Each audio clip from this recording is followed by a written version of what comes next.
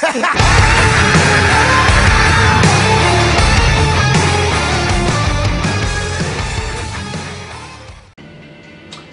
and welcome to another episode of Dustin Recommends. And this one's going to be a slight departure from what I normally do. You normally see me talking about obscure horror movies or just insane movies that have no reason to be good, but I found very entertaining and figured I would share with you guys. This one's different. This is a brand new movie, not a horror movie, not really a thriller either.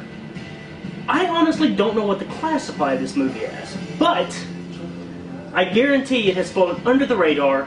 It should have got a theatrical release, but considering the subject matter, I can understand why it was passed up and went straight to DVD.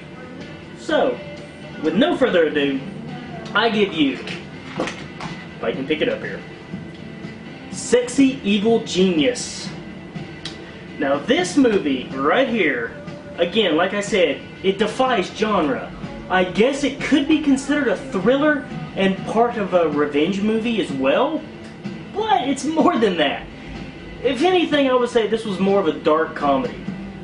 I'll give you basic plot points because I'm not going to spoil it, but uh, yeah, this is highly recommended by me. So what it is is this uh, this this woman invites three of her lovers to a bar, or ex-lovers, my bad. Her first love from high school, a second fling with a female, yeah, and then the third uh, a guy that she met. They started a band. Invites them all to a bar to meet her new boyfriend and current fiance. And let's just say this movie lives up to the title Sexy Evil Genius in every way possible. This movie will have you either hating the main character to the end or in love, enthralled, exactly. In fact, the first part of the movie reminded me of every single manipulative relationship that I was ever in. You felt that, and you felt this guy's pain that she had manipulated and, you know, used and all that. And it's so reprehensible. But at the same time, it, it, it hits you and it becomes real. And it's, know, I mean, many a times I was like, God, yeah, that happens. And the same thing with the other two as well, her other two exes. It's so real and just so there. And you don't know really what's going on. At first you think she's just freaking psycho. Then you're thinking maybe she's got something. And you're like, no, she's a lunatic. And then in the end, you're just like, wow, okay. Now, another reason why I've seen this movie is because I have a slight man crush on Seth Green. Hey, screw me. Screw you. Screw, mm, that didn't go right well. Man, I have a man crush on Seth Green and then say screw me right there. Not what I meant. You get my gist of what I was talking about. I like girls.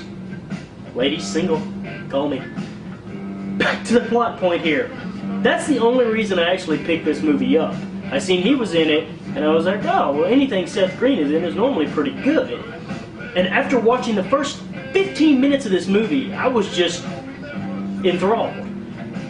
The acting is spot on. Um, the characters that they got in here are just freaking amazing and so just real. You just, I know I've said that like twice, but you identify. You will identify with them, and it becomes your story almost. You can almost superimpose yourself on one of these figures. Kid you not. And it plays out the end again. It's just there's about four different twists, and you're just what? What? But again, pick this up. It's in sale at Walmart right now. It's got a pretty generic looking cover, so I can understand where you would probably just pass this up and not even give it a second thought. Don't, by all means, pick this movie up. It is well worth the $15 price that they're selling it for. If I could have found a Blu-ray of this, I would have bought the Blu-ray again. Kid you not, it's that good. It is now on my top shelf with my Blu-rays. You know, the ones that I really love. Like Evil Dead, all that fun stuff. It's up there, I kid you not.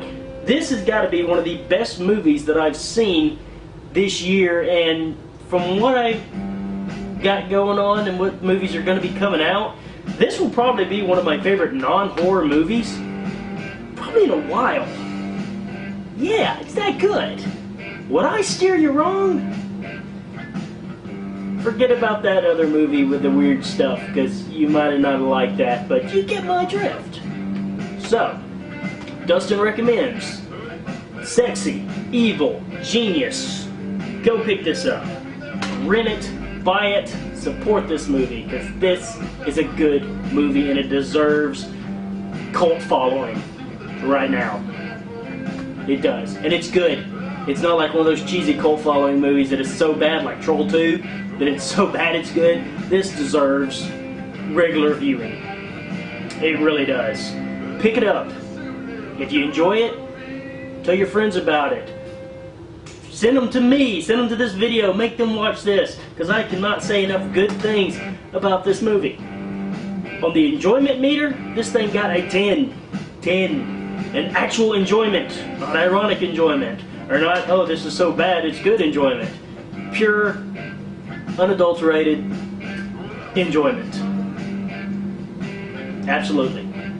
So, there it is. Dustin recommends Sexy Evil Genius. Go pick it out. Alright, boys and girls, y'all take it easy. Be safe out there, and uh, for all my little doves out there, I'll be back in June. Prepare yourselves. See you later. See you. Totally screwed that up, but I'm not editing these things and I don't script them, so deal with it. See you guys later.